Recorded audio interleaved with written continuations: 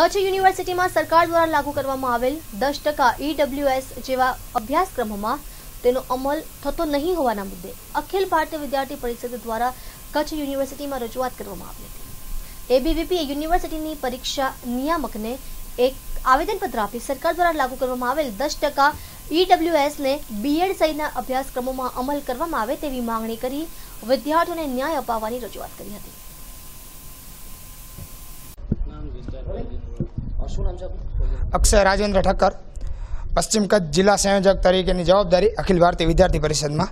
આજે ખાસ આવેદનપત્ર આપવાનો શું ઉદ્દેશ્ય આજે આવેદનપત્ર આપવાનો ખાસ ઉદ્દેશ એ જ છે કે યુનિવર્સિટીને લગતા ત્રણથી ચાર વિષયો છે. એક તો રીએસેસમેન્ટ અને રીચેકિંગનો વિષય છે. રીએસેસમેન્ટ અને રીચેકિંગના વિષય માટે આજથી થોડા દિવસો પહેલાં પણ માંગણી કરવામાં આવી હતી. ત્યારે પણ એવું કહેવામાં આવ્યું હતું કે અઠવાડિયાની અંદર કરી દેવામાં આવશે. આજે અઠવાડિયાથી ઉપરના દિવસો નીકળી ગયા છે. પરીક્ષા નિયામકને પણ ખ્યાલ નથી એમ.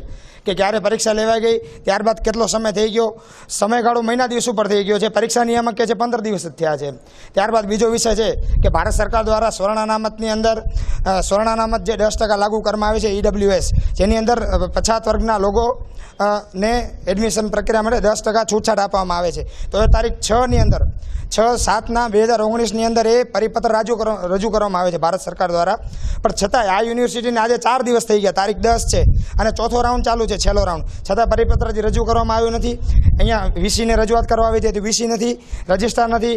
ચાર્જમાં તો છે નહીં અને ઇન્ચાર્જમાં પણ કોઈ નથી ખાસ ઈડબ્લ્યુએસ નો જે પ્રશ્ન છે અંદર ઈડબ્લ્યુએસના પ્રશ્નની અંદર એવી માંગ છે, દસ ટકા અનામત છે એ લાગુ કરવામાં, અહીંયા લાગુ કરવામાં આવી નથી. જેને કારણે જે જે એનો લાભ લઈ શકે છે, એ એ લાભથી વંચિત રહી ગયા છે. અને અહીંયા તમે અત્યારે પણ જોઈ શકો છો બીએડની અંદર. ઘણા લોકો આવીને ધક્કા ખાઈને ચાલ્યા જાય છે, આમની પાસે કોઈ જવાબ જ નથી. અને બીજો એક વિષય છે કે માંડવી, માંડવીની એસવી આર્ટ્સ કોલેજ અને ભુજની લાલન કોલેજ લાલન કોલેજ, આ બંને કોલેજો એવી છે કે જ્યાં બે હજાર ઓગણીસના વિદ્યાર્થીઓને એડમિશન આપવામાં આવે છે, પણ બે હજાર સોળ કે સત્તરની અંદર પાસ આઉટ થયેલા વિદ્યાર્થીઓને એડમિશન આપવામાં આવતું નથી. આવો કોઈ નિયમ ગુજરાત સરકારનો નથી કે નથી કોઈ કચ્છ યુનિવર્સિટીનો નિયમ કે આવી રીતે કોઈને પ્રવેશ આપવામાં આવે નહીં.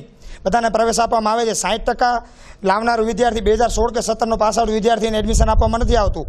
અને પિસ્તાલીસ ટકાવાળાને બે હજાર ઓગણીસમાં પાસ આઉટ થઈને આપવામાં આવે છે. અને આ યુનિવર્સિટીને ખબર નથી પાછું.